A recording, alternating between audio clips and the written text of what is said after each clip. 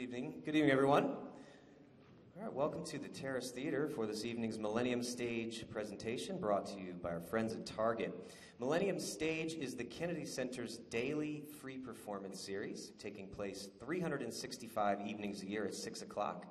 If you are ever unable to join us in person, we invite you to visit us on the web at www.kennedy.com center.org. There you can tune in and watch a streaming live broadcast of each night's performance and also check out thousands of past Millennium Stage performances in our on demand archive.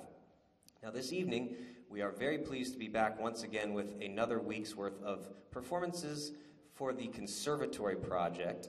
The Conservatory Project is a fantastic opportunity for us to showcase the future of music by working with some of the very best young musicians from the nation's top conservatories. And this evening, please join me in welcoming our performers from the Peabody Institute at Johns Hopkins University, the Russian Trio.